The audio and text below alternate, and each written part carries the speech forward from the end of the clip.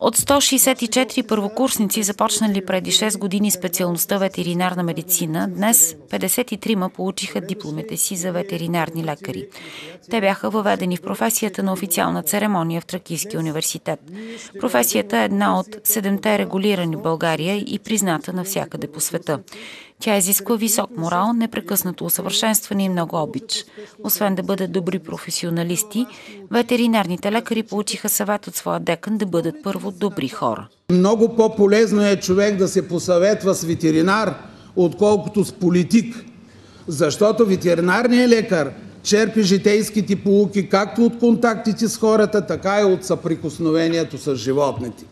А те, животните, в своето безмълвие обикновено казват повече и по-ценни истини. Притча вместо дълга реч получиха новите магистри от ветеринарно-медицинския факултет от ректора на Тракийския университет професор Иван Станков.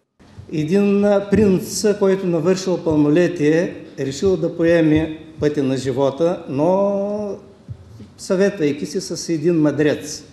Мъдрецът му казал, тръгваш по пътя на живота, ще преминеш през три врати. Прочети какво е написано на всяка врата. Тръгнал принца, на първата врата пишело «Промени света». Млад, индусиазиран, започнал да дава всичко от себе си, за да промени света. Разбира се, сам нищо не може да направи. Не е успял до край да направи нещо съществено. Продължава на втората врата и е писало «Промени другите». Започва да изисква повече, отколкото трябва, да критикува, да вижда недостатъците на хората. Също, разбира се, не е успяла. На третата врата е пишело «Промени себе си». Човек не може да избяга от себе си, колкото и да се прави на различен, да подражава на другите.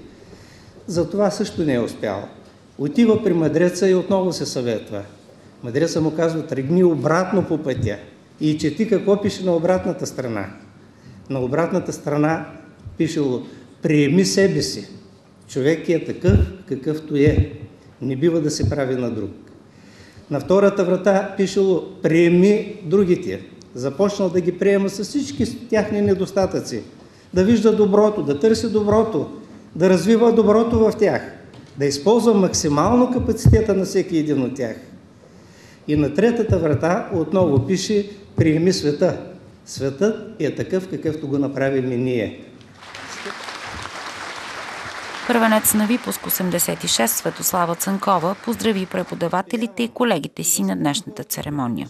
Искам искрено да благодаря на всички преподаватели за положените усилия и търпение, за ценните знания, съвети и наставления, които ще останат завинаги с нас. Благодаря, че ни въведохте в света на ветеринарната медицина. Показахте ни как да бъдем не само лекари, но и хора. Благодаря и на колегите за създадените приятелства и за това, че си помагахме през всички тези години. Промоцията на ветеринарните лекари се състоя в присъствието на цялото академично ръководство на Тракийския университет, представители на Министерството на земеделието, на Агенцията по безопасност на храните, на областната и на местната власти.